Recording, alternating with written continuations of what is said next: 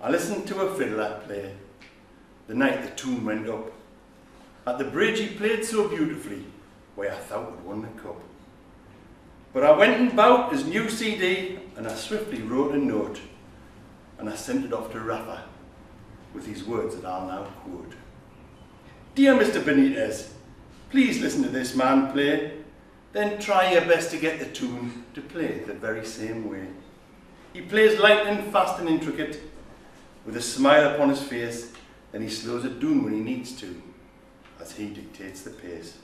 But before your eyes off again, and his fiddle seems to sing like the very best player you've ever seen, flying down the wing.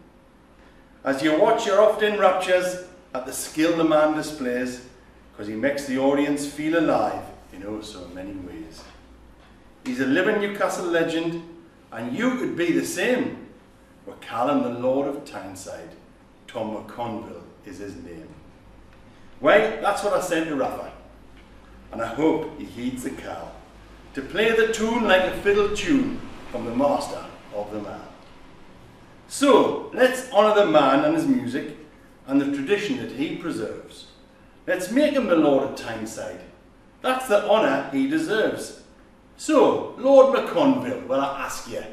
Well, ask you, well, why not? He's never supped at corruption's cup or fiddled a pension pot. The finest thing he's ever done is to bring joy wherever he can. That's the measure of the Scotswood lad, the measure of the man. Yeah.